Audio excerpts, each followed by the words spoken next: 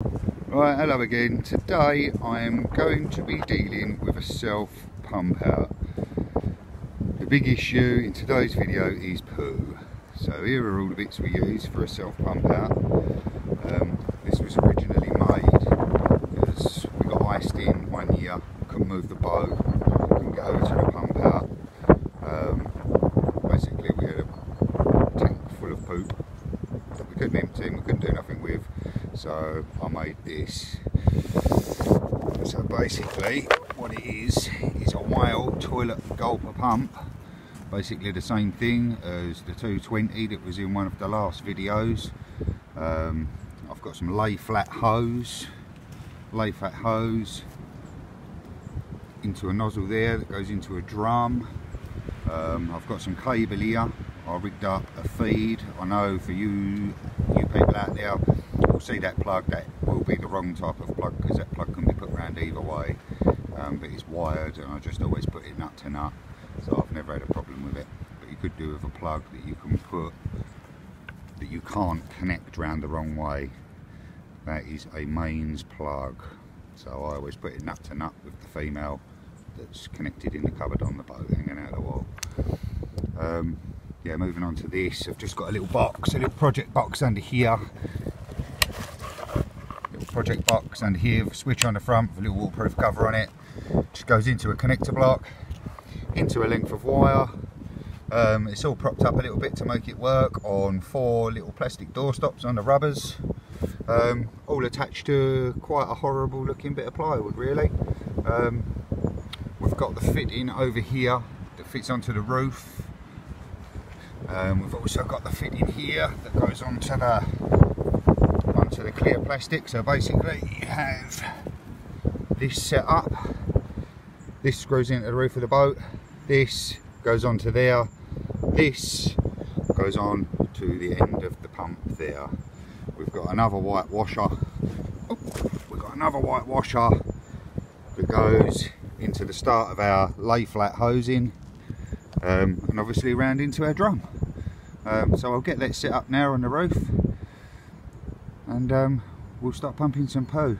Please be advised though, I'm not going to put lots of poo on, but you will see some poo, so if you're squeamish you might not want to see this video. Thank you. Alright, hello again, so here we are. Um, we've lifted up the solar panel, we've propped him up. Um, I've always meant to make some stands for this, but that's another story. I've actually got the metal in the shop there to do it with. Um, just another job that I haven't got round to. Um, Right, right I'm going to prime the pump up with a little drop of water, which just involves switching her on, just a little bit of water out of the tap and the water into uh, Give her a little wet up, or a little drop more in there. I mean, they will go without priming, but it's just a little bit of mechanical sympathy. It's a little bit easier on your pump. It's been sitting there a while, and obviously the diaphragm um, the diaphragm, rubber diaphragm inside and the little joker valves and stuff um, are all dry so it just doesn't hurt to wet them up. Also it gets better suction because the seal's inside. Seal off better. Right, close this one onto there. Now our pump's primed. Sure just so. Then we get a drum. Another two down here, 25 litres each. Um, drum there, that in there like that. I've got a little cable tie over the top actually, on this one just to hold the, the pipe on. Now it is a, little bit light, before I get any liquid in it, just going to try and pull it back a little bit. Um, but that's basically the setup. So right, now we're ready to pump some poo. Um, we've got everything primed up, everything's tight. Hopefully our pump's going to suck it up to pass that sight glass, start passing it through the pump into our drum, ready to dump in the Elsan. Now it normally takes a little while to come up and round the bend because I'm asking a lot from this little pump. Um, in the destructions, it's got a nine foot lift head and I'm asking seven foot of waste seven foot lift head that's including solid waste so she does struggle a little bit but once it comes up.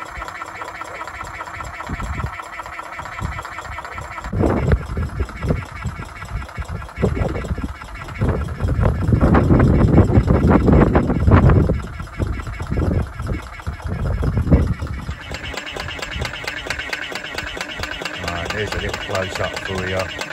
Um, not very nice, but it is the reality. She started to put my foot on that very busy today. Another reason why we didn't really want to move the boat. We're also stuck in the mud. Uh, It's actually sitting in like an upturned jelly mould, the shape of the boat. It's pretty got to get it out. And also get it in. This is what we need to close it first. Hello there. We're pumping the poo. You see through the sight glass are all good, we can hear our pump working and our drum is filling up nicely. There's a little bit of a pong but it's not too bad. Um, we actually use a bio um, a bio tank treatment that actually digests the human waste and really does sweeten it up a lot. It, it seems to be a lot better than chemicals, you know. Um, I'll show a picture of what we use coming up at some point in a moment.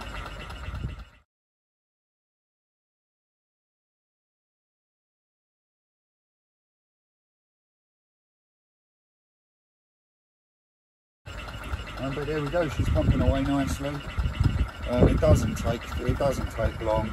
Um, these tanks, uh, these drums are 25 litres each. I've only got three of them. It only ever takes me when the tank is up to full. It only ever takes me two runs, two lots of three, so six drums worth. Right, so we're on to our second run now. I'll fill this one up. I'll fill the third one up. I'll put them in the dinghy, and we'll go to the Elsan. There's another treat for you. Right, um, I just thought I'd show you the way I change over the um, change over the pipe into a different drum. Obviously, have to be really careful. I'm not really a fan of SH1T, um, but this is how I found to do it. I always just just move the pipe a little bit, hold it on there. I mean, you can't be too squeamish. It's not like I get poo on my fingers, but you can't be too squeamish. Um, I always just lift out like that, turn around, plopping straight into the next drum. Move that lid onto that. Oh, put the lid on that one, stop it being stinky. And off we go again. I normally just stand here and put my foot on it because I haven't put cable ties on all three drums like that one, but so that's it. Fill the first drum and off to the Elsan. Right, I'm gonna put these in the dinghy. I've got to tidy, tidy this thing out. A lot of this though is rubbish, bits of wood that I pick up out of the canal in my travels. I found this floating around the other day. It just ends up staying in here unfortunately. I do do my bit, where I see rubbish I'll pull it out. That's it. Right, next stop, Elsan. Oh.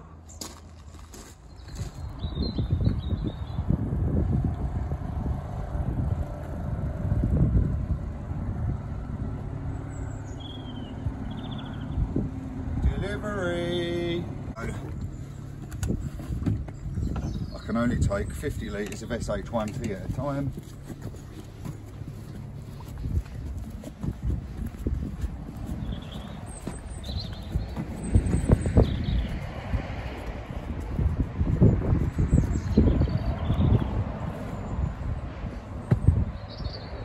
Come this way. Let me show you the horrors before we go around the corner. If you're not familiar with this, might want to look away now. If it's tea time where you are, it's pretty nasty. It's a good job we ain't got smelly vision. I say it's pretty nasty. This is this is what they're all like. Unfortunately, there's a big hole in the ground where you empty your wong, and that's where it goes. The only things that should go down here are liquidised poop and toilet paper. No, not anything else. Not your ex-boyfriend's jumper, not your goldfish that you didn't want anymore, your old trainers that you was going to chuck out but you decided to put them down one of them. No, causes hell of a lot of trouble. People throwing the most random things down Elsan's. Oh, I'm all out of breath now for carrying them. Yeah, it causes all sorts of problems. People throwing random things, everything from jumpers to trainers. Dan Elsan's, please don't do it. Don't be shy. Don't be shy. No, no, come on, come on. You wanted to see it, you clicked on it. So let's have a little look. Right, so here we've got a drum of SH1T. Um, we've got the big hole in the ground. There the are. Does anyone, anyone know? Filling up their car with oil. Your glug is your enemy. You do not want that glugging because it starts splashing back everywhere at you. So you want a nice gentle pour to start off with, a nice steady stream of. Right. Come closer. Come on, get in here. Come on, up, up.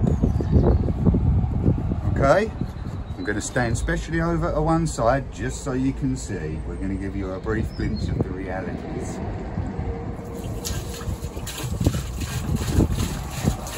Trying not to let it glug, although I'm talking to you now and it is starting to glug a little bit, but not too bad. I want to try and get it down the middle of the hole so you don't get no splashback, but that's a great thing about it, when you've got an Elsan like this with the big cement funnel basically. Um, now there's two types of boaters in this world, you've, well there's three types now.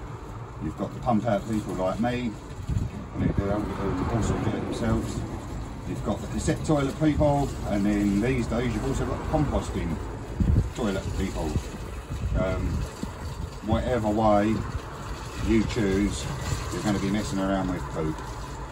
And I did hear the other day that the CRT along the networks are getting complaints from their bin emptying companies um, about people disposing of the compost toilet waste and causing a problem for the poor blokes the other end who are obviously sorting through it. Right, we've got the last one here. Oh, pour it down now. Lovely. Oh, watch the splash bag. Watch the splash bag. Whenever I'm around splashing poo, if it lands anywhere, it lands on my lip or something. And I'm in here talking where normally I'd have my mouth and my nose firmly sealed. So right, here's our last drum. There's our last drum.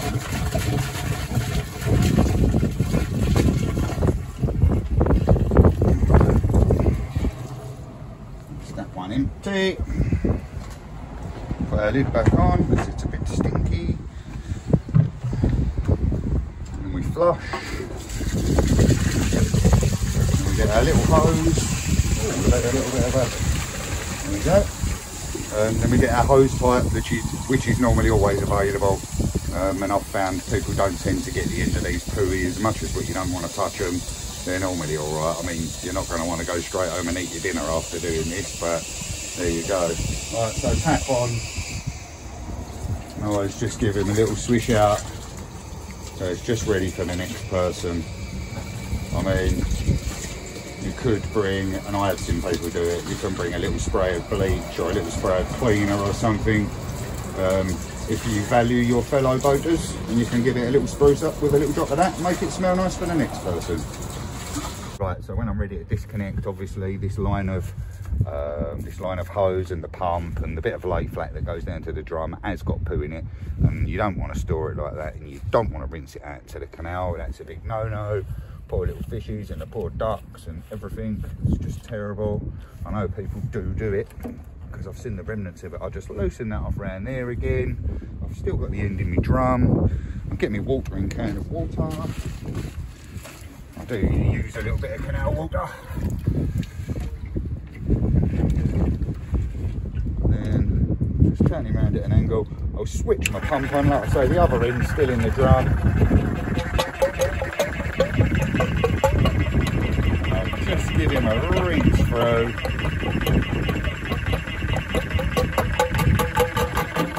Right so let the pump run for a second so it just empties itself out. You could do that another couple of times um, but for me that's fine. This gets stored in a little box outside um, especially in weather weather like we've been having as well. Make sure there's no water left inside this when you do store it if you are storing it outside in a shed or whatever. So there it is